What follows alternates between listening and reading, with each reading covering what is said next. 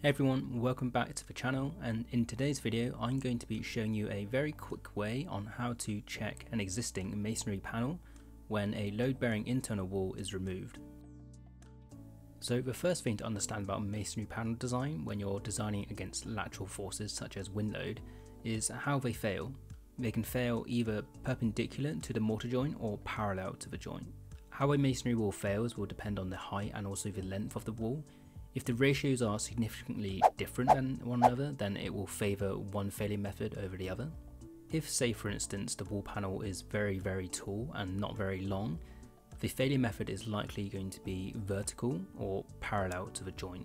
A scenario where you have a wall with top and bottom restraints is very common in normal housing construction, where the floor slabs are restraining or supporting the bottom and the top of the wall.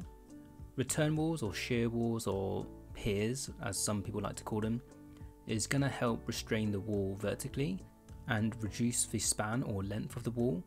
And this is going to help prevent the wall from failing perpendicular along the mortar joint. Okay, so in this example is a previous calculation or design which I had done. And I'm just going to be talking you through the steps which I took. There are two internal load bearing walls which are going to be removed so that the client can create a big open plan space. As you can see, the load bearing walls are actually doing two functions. One is obviously supporting the floor and the walls above, and secondly, it's also providing a lateral restraint to the external masonry walls. By removing this internal wall, we are essentially removing a really large structural shear wall, so we need to check that the external wall is still capable of resisting the lateral loads without failing. As you can see, there is a return or a kink in the external walls in both the north and the south elevation. What I'm going to be checking is to see if the return wall is strong enough to resist the lateral forces. If the return wall is strong enough, that means I won't need to check the external masonry panel as one really really large panel. So what I'm going to do now is to calculate the force on this return wall. I'm choosing a wind load of 0.5 kilonewtons per meter squared because the location of this house is within an area which is fairly sheltered, so the wind loads aren't going to be that high. The wind load which you use will vary between locations, and if you're in a place which is very susceptible to high winds, such as an open area or if it's an area on a hill, then the wind loads might be significantly higher, and this is something which you'll need to check separately. So all I'm doing is calculating the area or the tributary area of the elevation where the return wall is going to be resisting that force. Once I've got the area, I can multiply it by the wind load to get a force in kilonewtons, and then I can divide by the height of the wall. And I end up with a linear wind load of 4.1 kilonewtons per meter. The external wall is made up of 100mm blockwork, a cavity, and a 100mm brickwork. Because it's a cavity wall construction, that means our effective thickness needs to be calculated, and that comes to 126mm. I also mentioned earlier that this internal wall is supporting the floor and the wall above. From a previous calculation, I would have worked out the beam's end reactions, and I would have had a dead and a live load. Because the gravity load actually benefits or enhances the resistance of the wall, I'm only going to consider the dead load and ignore the live load completely.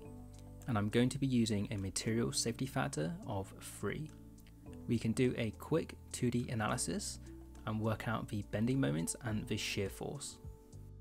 So I'm going to do the shear check first. The shear resistance is defined as FVK and that's equal to FVKO plus 0.4 the design stress.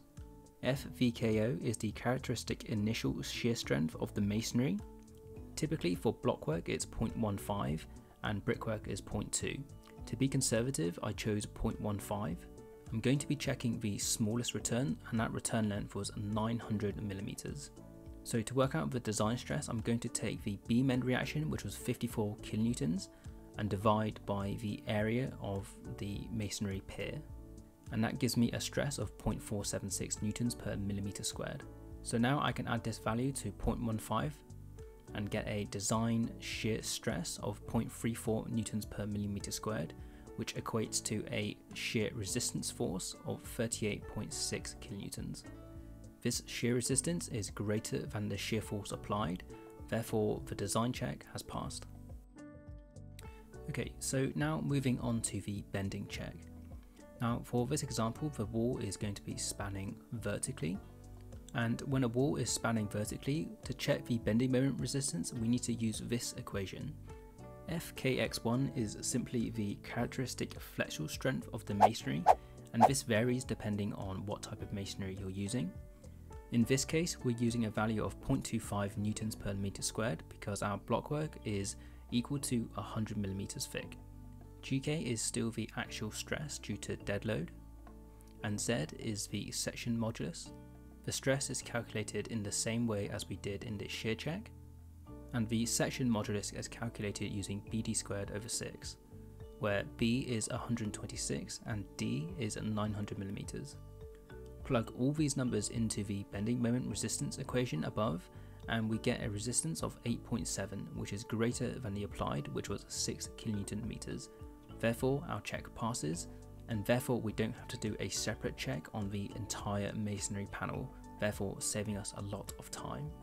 So just to recap what I've actually done, by removing the internal wall which was providing a lot of resistance to the external wall, I've checked that the return wall is capable of resisting all the lateral force from wind load and therefore it's completely safe to remove that internal load bearing wall.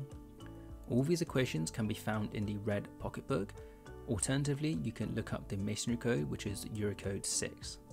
This is a very quick way of doing some masonry design checks and it is reasonably conservative.